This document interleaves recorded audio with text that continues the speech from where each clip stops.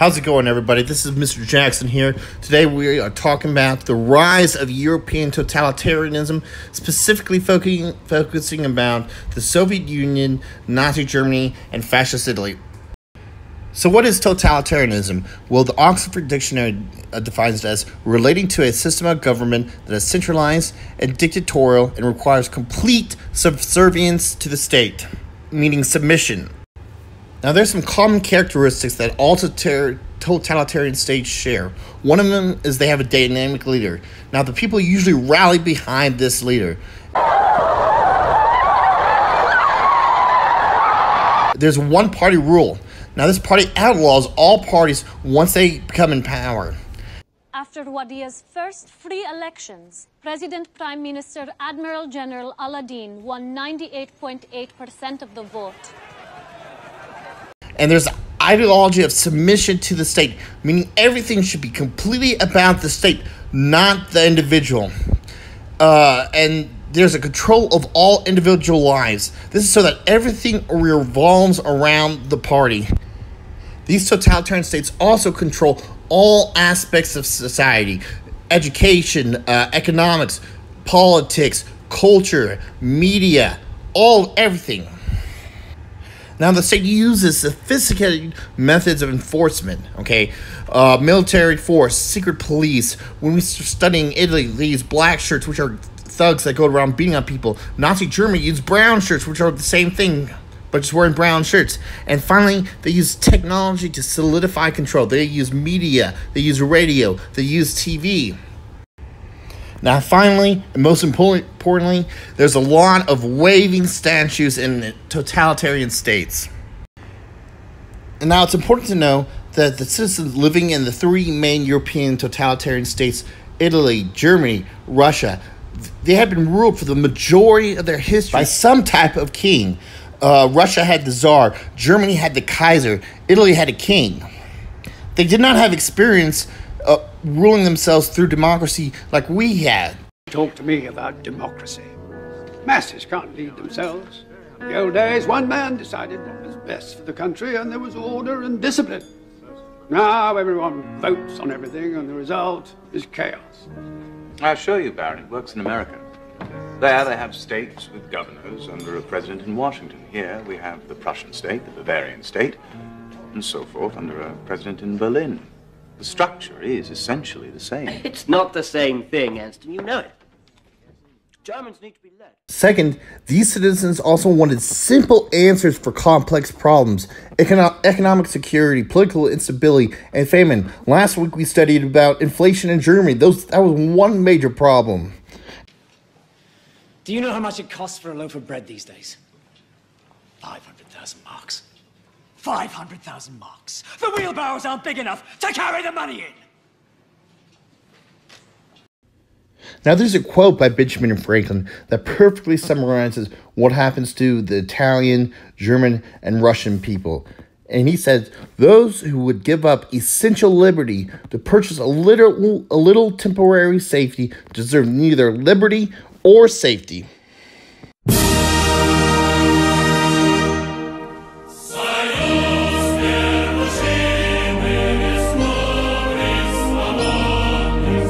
Now, the first totalitarian state we're going to talk about is the Union of Soviet Socialist Republics, better known as the USSR.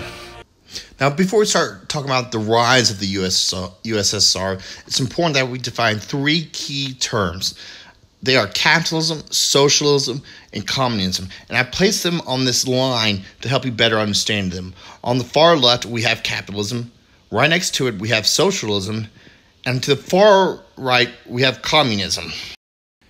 Now, capitalism is an economic and political system in which a country's trade and industry are controlled by private owners for profit, profit rather than the state, and the state meaning government. The United States lives under a form of capitalism. Now, next to it, right on the on the right, is socialism. Now, socialism is an economic theory of social organization that believes that the means of production, meaning the businesses, should be owned by the government. However, workers earn wages and can own personal property. So they work for a company which is controlled by the government and they get paid and they own their own houses, their own cars, clothes, stuff like that, but the government doesn't own it.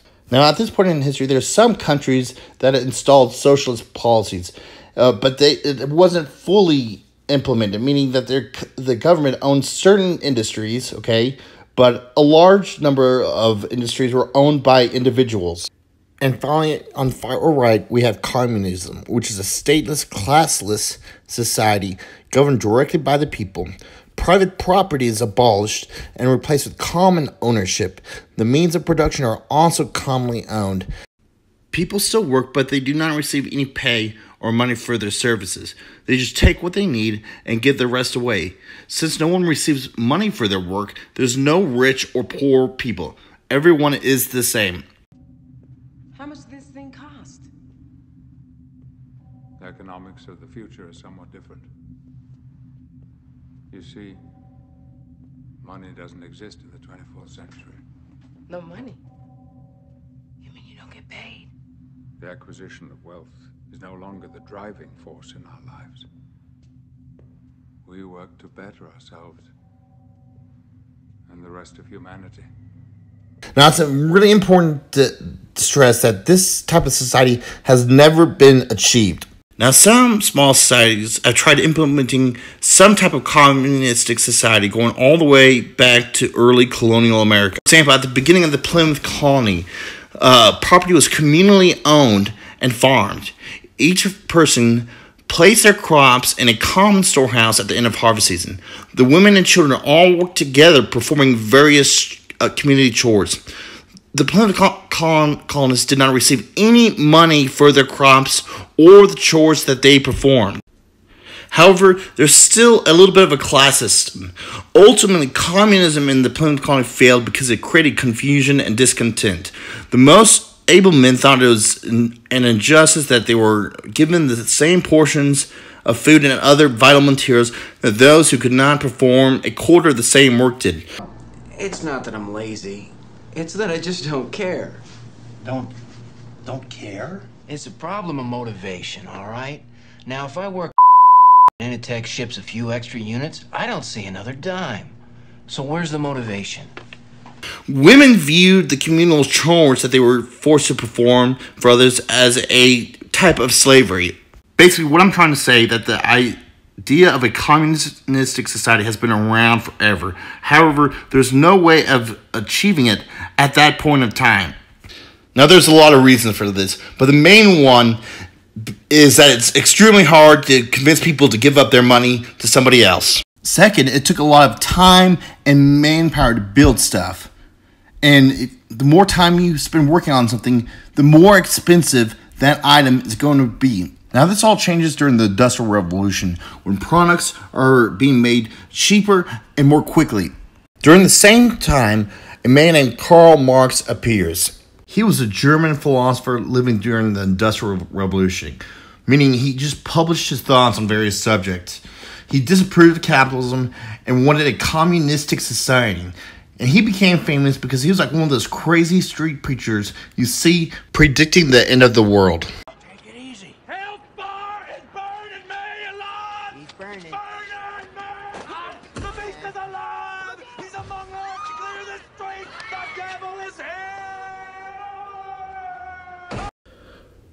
Now, Marx predicted this worldwide revolution would take place, okay, where the working class people, who he called the proletariat, that he believed were being exploited, would rise up and forcefully, through revolution, overthrow the upper class or factory owners, whom he called the bourgeoisie.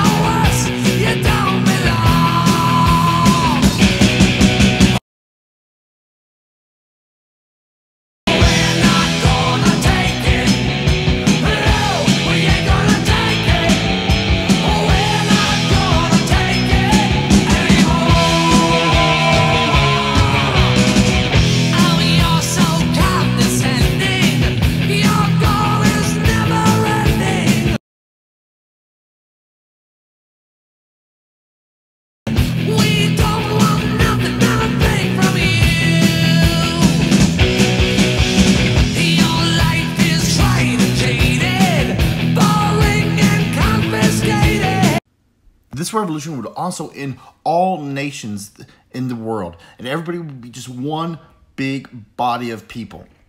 Now, after the revolution, all the wealth that was uh, being held by the bourgeoisie would be redistributed to the proletariat or the working class. Now, after the revolution, there'd be a temporary period where society would be extremely socialistic. Then, slowly over time, and eventually, a perfect communist society would develop. In this society, there's no class system, there's no rich or poor, there's no money, there's no individual nations like the United States, Germany, France, Mexico. And all the work would be done by these machines so that people had all this extra time to do whatever they want. Marxist philosophy became very popular and he gained a lot of followers. Okay, and these followers were called Marxists. These followers tried to fulfill Marx's destiny by starting a global revolution. However, they needed a specific event that could kickstart this global revolution. Now, the followers of Marx believed that the event that would kickstart this global revolution was the Russian Revolution. It started in 1917 with the overthrow of the Russian Tsar in the capital of Imperial Russia, Petrograd. The people revolted because Russia's involvement in World War I took a lot of Russian lives and it resulted in a large famine that swept through the country and was devastating the people. A provisional government is established, meaning a temporary government, and is made up by elected members that the Russian people elected to it. This new government is controlled by two groups. One of them is the Petrograd Soviets, which are which is the radical left, the Marxists, the people who wanted social, socialism but not full-on communism. They were all grouped together, and the other uh, group is called the Provisional Government, and that's everybody else: the conservatives, uh, the the moderates, and the slightly liberal people. Now, the Russian Revolution started because of two main things. One of them was World War One; they were tired of being in that war, and two was that the Russian peasantry did not own their own land. The provisional government promised to do these things, but they kept Russia in the war even after they overthrew the Tsar, and they failed to give land to the peasants. During this time, a new political faction called the Bolsheviks rise of popularity within the Petrograd Soviets. The majority of these uh, followers were Marxists, okay, and they wanted to not only uh, spread uh, communism to throughout Russia, but they also wanted to spread it into an entire world. Now, the Bolsheviks will be eventually called the Communist Party of the Soviet Union, and it's led by a man named Vladimir Lenin. Lenin's motto was peace, bread, and land. Okay, peace meaning a promise to get Russia out of the war. Bread, a promise to end the famine that was started because of World War One. Land was a promise to give land to the peasants. What Lenin was doing was saying, hey, if you vote for me or join the Bolshevik Party, I'm going to give you all this free stuff. Basically, money. Just. And now, folks. It's time for Who Do You Trust? Hubba, hubba, hubba. Money, money, money. Who do you trust? Me? I'm giving away free money. Later that October, Lenin and his Bolsheviks overthrow the provisional government and take control. Lenin establishes an extremely socialist government with the purpose of spreading communism not just throughout Russia, but the entire world. However, Lenin's Russia isn't fully communist the, the Russian peasants do get to own their own farmland, so there is a little bit of private property. He's a devout follower of Marx, so he wants to fulfill Marx's prophecy of a worldwide revolution that would lead to a classist society. However, while he's in power, there's a massive civil war, okay, between the Reds, the people who are the socialists and the Soviets, and the Whites, which is everybody else who doesn't want to have socialism. And that takes up the majority of his time and money, and he can't fulfill that process. And eventually, Lenin dies, and there's a big struggle over who's going to be the next leader of the Communist Party, which controlled Russia. So basically, they were deciding who was going to be the leader of the entire nation of Russia, which it ultimately came down to two people Leonid Trotsky and Joseph Stalin. Trotsky was Lenin's right hand man and a devout Marxist. However, Stalin held a powerful position within the communist government, but not as powerful as Trotsky. Furthermore, Stalin wasn't a die-hard Marxist like Lenin and Trotsky was. However, he was ruthless and eventually takes over. Stalin in Russia means man of steel, and Stalin was cold as steel. He was the complete opposite of Lenin. Lenin uh, was violent and did a lot of terrible things, but he did those things as a means to an end. Stalin loved killing people. Uh, he had bullets on his uh, desk. He loved wearing military uniforms. He was ruthless. One could make the argument that he was just as bad or even worse than Hitler. Now, while Stalin was in power from 1927 through uh, 53, there's varying estimates, but anywhere from 20 to 60 million people died of unnatural causes not related to World War II. Um, 20 million died in the fighting in the war. 34 million people were forcibly relocated against their will or sent to the gulags, which were Russian forced labor prison camps in the middle of Siberia or some really, really cold, isolated area where they were never seen again. Just to give you an idea of how terrible and ruthless Stalin was, during the Battle of Stalingrad, when Russian civilians were starving, a German army was cut off and even more starving, German soldiers would give Russian children little bits of bread to go down to the, uh, a river and fill up their canteen and bring it back to this uh, German soldier. Stalin ordered Russian snipers to shoot those children. That's how ruthless Stalin was. Not cool, man. Not cool. Not only was Stalin ruthless, he's also extremely paranoid, and he committed what was called the Great Purge. During this purge, he used his secret police force called the NKVD, which later became the KGB, to purge on a large, massive scale the, the Communist Party, wealthy uh, peasants, um, military leaders, anybody who opposed him. And during this time, he killed 16 out of his 19 top generals. The purge of his generals would have a tremendous effect later on in the war when they're fighting the Germans. This purge just terrified the Russian people, and after it, people started showing their uh, affection and loyalty to Stalin in outrageous ways just so they wouldn't get killed. More question, please. Tell it to the boss. He likes good hunting stories.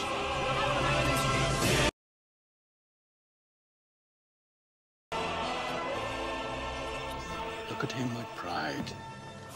Because he's looking at you.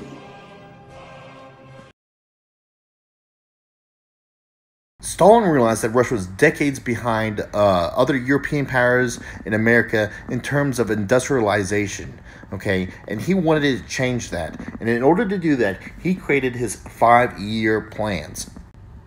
These five year plans were a way of planning growth over long periods of time through the use of quotas that they would um, have to meet each year. And in order to do this, Stalin relocated millions of people in, from the uh, rural areas into the cities to work in these factories. All right, and there are three five year plans, okay, each focusing on certain things. The first two were heavy industry and, uh, and collectivized farming, and the third was uh, military weapons. These were extremely successful.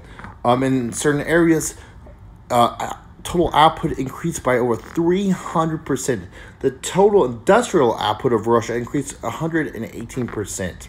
However, I want to be clear the quality of these products. Furthermore, these were things that the average Russian people couldn't use, like shoes, cars. These were oil production, steel, electricity, coal, and military stuff. So the average Russian person didn't benefit from it. In order to feed these massive population of workers in the, in the factories, uh, farming had become way more productive in Russia. And in order to do this, Stalin started collectivizing farms. Now, collectivization of farms is a policy of forced consolidation or grouping of individual peasant households or farms, forming large government run farms called kolkhozes.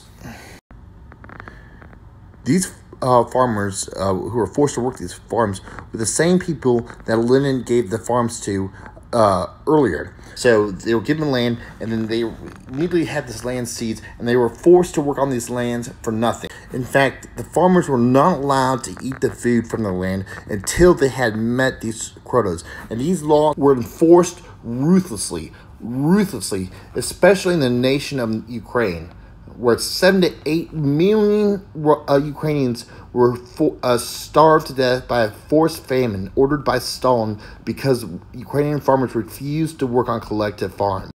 The Ukrainian peasants didn't want to have anything to do with collectivization and fought it. And they fought it much harder than anyone else did. And there were outright battles. I mean, we're talking hundreds of uprisings in 1929, 1930, where Ukrainian peasants, you know, essentially said, we're not going to have anything to do with your collective farms. Stalin sought through the famine to impose his control on Ukraine. Without Ukraine, there is no USSR. Uh, Ukraine was known as the breadbasket of Europe because it was the center of grain production, originally in the Russian Empire, um, but also within Europe itself. Um, most of Russia's grain export came from the Black Earth lands of Ukraine teams of people came into Ukraine and went village by village and removed the food from people's houses apples, beets. Uh, uh, they would lead away the cows, they would take away whatever was in storage. і забрали все, що ми мали тільки. Навіть таку мали землянку, і там вибрали все, що мали. І тоді голодом морили, бо хотіли, щоб йшли до колгоспу люди робити. Борщ зварила, і той витягли із печі і з'їли. Ці, як то КГБ, НКВДисти. Нас мама тримає Андрія. А я маму за спідницю і нас викинули на дорогу, отак у сніг. І замкнули хату. Тата вже нема, повезли тата. Journalist Gareth Jones risked his life to travel to Ukraine and report on the famine. There he interviewed survivors and Soviet agents. If any man, woman, or child goes out into the field at night in the summer and picks a single ear of wheat, then the punishment according to law is death by shooting, the communists explained to me. Jones described what was known as the Law of the Five Ears of Wheat, signed by Mikhail Kalinin, head of the USSR Central Executive Committee, and Vyacheslav Molotov, head of the Council of People's Commissars. Used judicial repressions of the highest degree as measures of social protection against theft of collective farm property, execution by shooting, and confiscation of all property. They passed passport laws that forbade Ukrainians to go, peasantry to go into the cities, um, and eventually they blocked the entire republic, so people couldn't leave. Не було що їсти.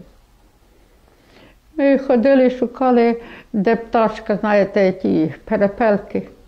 Носиться то яєчка, брали, їли. А, а як іде, що ще вже і є перепеленята, але що вони не ростуть, і то так їла. А так як ішов, на дорозі впав. А люди так падали, як муха. Ще людина дихала. Вони забирали, каже, бо ми не приїдемо завтра забирати. Maria told us the story of a woman who lived in the village with her two children. Suspicion aroused, a neighbour checked on her, asking what had happened to her kids. To her horror, she noticed there was a hand sticking out of the stove. Asked why she'd eaten her own, the cannibal replied, because they were going to die anyway. Це таке було, що ми молодості не мали ніколи. Вся молодість пішла, бозна куди. І пережили все це те, що нам не треба було. А комуністична система зробила нас найгіршими рабами в світі. І ми осталися винуваті. Не знати тільки за що, за які гріхи. Тільки того, що ми були, звалися українцями. 40 учнів я мав молодий, але я любив дітей. Любив так, як і своїх дітей. І діти були такі хороші українські, що я вам скажу, вони мені вижаються й зараз, бо вони всі померли з голоду. In many of the places where the famine was most devastating, uh, Russians were brought in uh, to replace Ukrainian villagers. In other words, the, the, the nature of the country changed after the famine. What happens in Ukraine, it wouldn't be wrong to see it as a kind of colonization. It was a horrible blow to um, Ukrainian national identity, social solidarity, political trust, um, from which I think it's fair to say Ukrainians are, are still recovering.